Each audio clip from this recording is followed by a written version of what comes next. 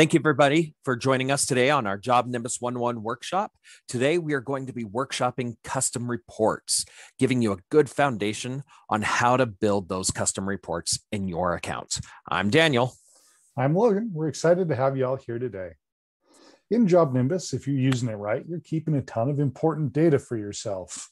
That data will be things like who your customers are, what their address is, what their email address is, what estimates you've made for them, where you hid the bodies, and other important things like that. Now, it's good to have that information and it's very good to be organized, but we can take it a step further and make that information work for you. You can use that information to figure things out, forecast the future, see what happened in the past. Some of that is like on this sales pipeline report up here generated by JobNimbus, but some of it you can generate yourself to get the information that matters most to you. Those are custom reports, and that's what we're going to go over today. Exactly. And it's super easy to get to your custom reports. All you have to do is click on reports here in the main menu. This will bring up all of the reports you have in your JobNimbus account. As you see, it is separated by two different types of reports. Here we have our built-in reports. As Logan was saying, these are generated by JobNimbus. We can use these to uh, forecast or project financial information and data. We can use these to track our lead sources. We can even use these to keep an eye on what our team is doing in our JobNimbus account. Over here, we have our saved reports. These are your custom reports where you can customize what data you really want to look at to see those trends to help bring your business to the next level. Once you save a report, it'll show up here under My Saved Reports in alphabetical order. To create a report, click on the three dots here and choose from any of these reports in the drop down menu. We can uh, create a report that looks at our tasks, that looks at our jobs and contacts, we can create a report that views activity in our account, system activity or user activity in our account. We can even look at reports that view financial data from our financial documents. To get a good foundation on how these reports work, let's look at the report builder in a contact report.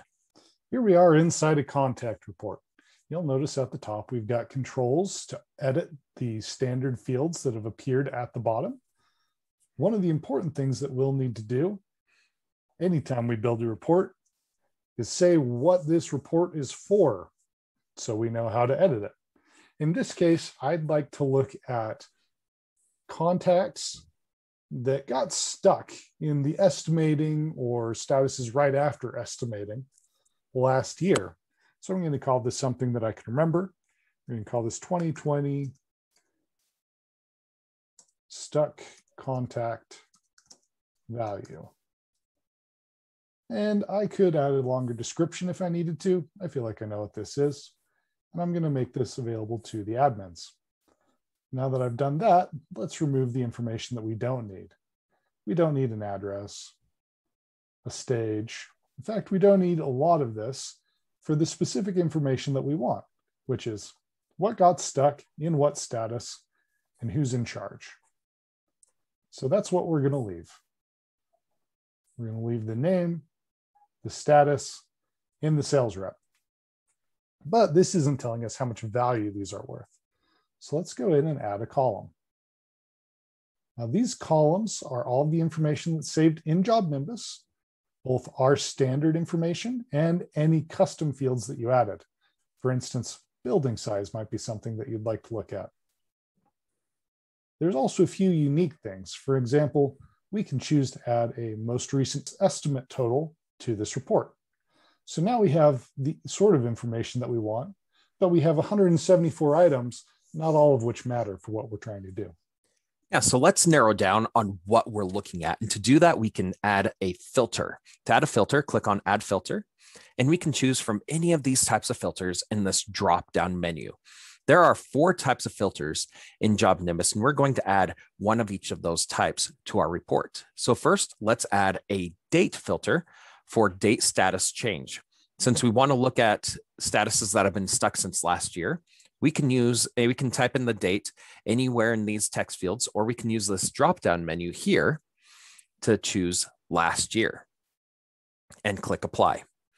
Next, let's add in an option filter for status since we want to look at contacts in a specific status.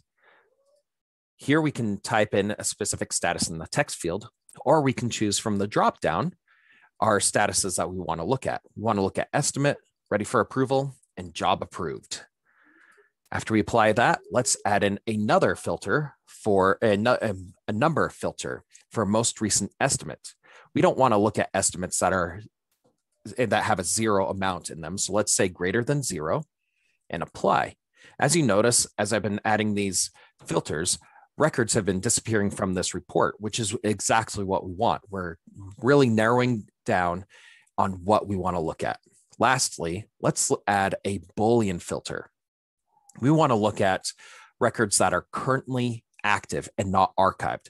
So we added a filter for is archived. We're going to click false and apply.